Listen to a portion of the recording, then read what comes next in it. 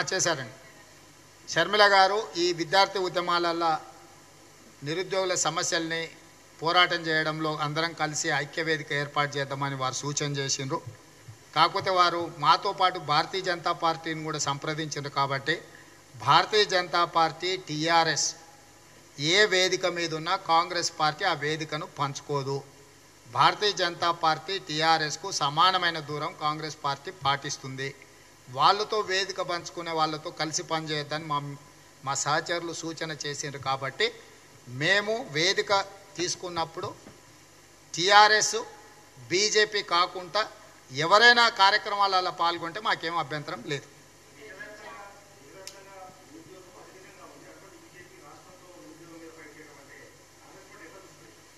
BJP చేయడం లేదు. మేము చేయడం వల్ల విధిలేని పరిస్థితిలో పత్రికా ప్రకటనలు చేస్తున్నాం ఇంతవరకు భారతీయ జనతా పార్టీ ఇది విచారించాలని కోర్టుకు తలుపు తట్టలే.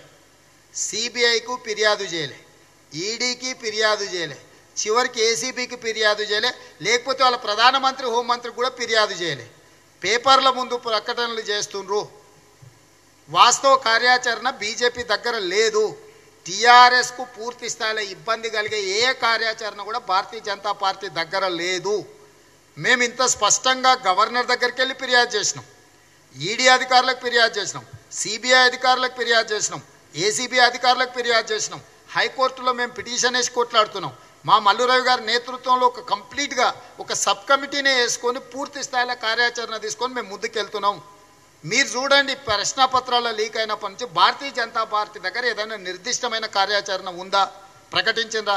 కాంగ్రెస్ ప్రోగ్రాం చేయంగానే దాని ఎంబడే ఇంకొక ప్రోగ్రాం తూతూ మంత్రం అంటే టీవీలో పేపర్లో కొంత స్థానం సంపాదించడానికి కార్యాచరణ ఉంది. ఎందుకు కేంద్ర మంత్రి కూడా కిషన్ రెడ్డి గారు ఈ విషయంలో సిబిఐ డైరెక్టర్కు లేఖ రాయలేదు? బండి సంజయ్ గారు మెంబర్ ఆఫ్ పార్లమెంట్. వారు ఎందుకు హోంమంత్రికి ఫిర్యాదు చేయలేదు? వాళ్ళు ఎందుకు ఈడీకి ఫిర్యాదు చేయలేదు?